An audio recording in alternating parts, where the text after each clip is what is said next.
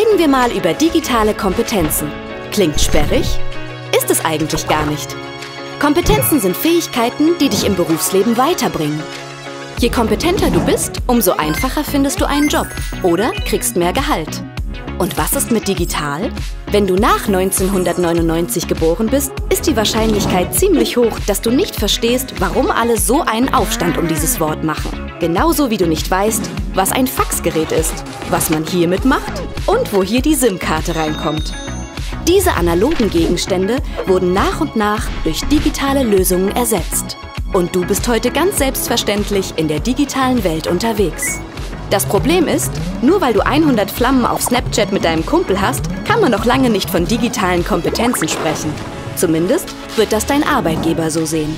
Digitale Kompetenzen im Berufsleben sind zum Beispiel Basiskenntnisse der Computerprogrammierung im Handwerk, der Umgang mit dem Computer im Büro, im sozialen Bereich oder im kaufmännischen.